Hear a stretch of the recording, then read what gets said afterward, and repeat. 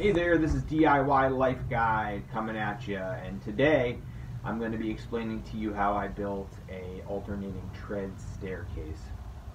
These alternating stairs behind me allow me to access my sleeping loft. The reason I built alternating tread stairs is because they're much more space efficient than a regular set of stairs. Because the notches are cut in an alternating pattern, it allows the staircase to be set at a stronger pitch than a normal staircase would, but it doesn't lack any of the safety because the notch itself gives more room for the foot to land on the step below it. So you're still getting a full foot of tread to, to walk on, but you're able to do it at a deeper pitch and it's still safe. That's the advantage of alternating tread stairs. It definitely saves a lot of space and they're pretty easy to build. I will walk you through it. Let's get started. So the cool thing about these stairs is that they only require four two by tens to construct. And other than that, I do have some two by four support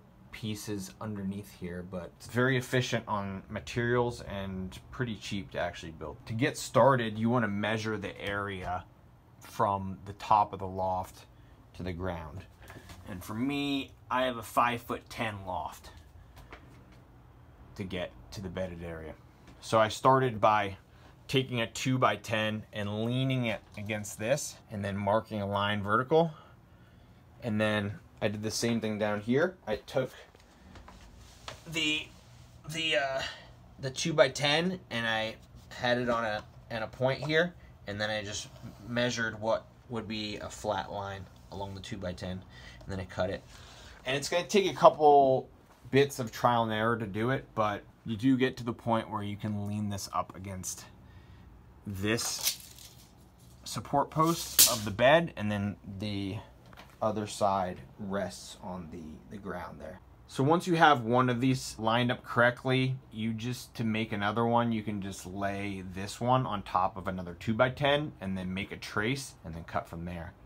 And this one actually can be nailed into the wall as well, as opposed to this one's just nailed to the ground and is nailed to the loft bed itself. You want to figure out how wide you want your stairs to be, and I wouldn't recommend making the stair any less wide than 20 inches, just for safety's sake, you need to have enough stepping room to get up safely. You also don't want to have more than seven inches of rise in between each stair. That way the stairs aren't too steeply aligned. And for me, to figure out how many steps that I needed, I just took the height of the loft, five foot 10, and then I divided it by seven inches. I have nine stairs. You can cut the boards to length and then nail them in from the side here into the actual wood.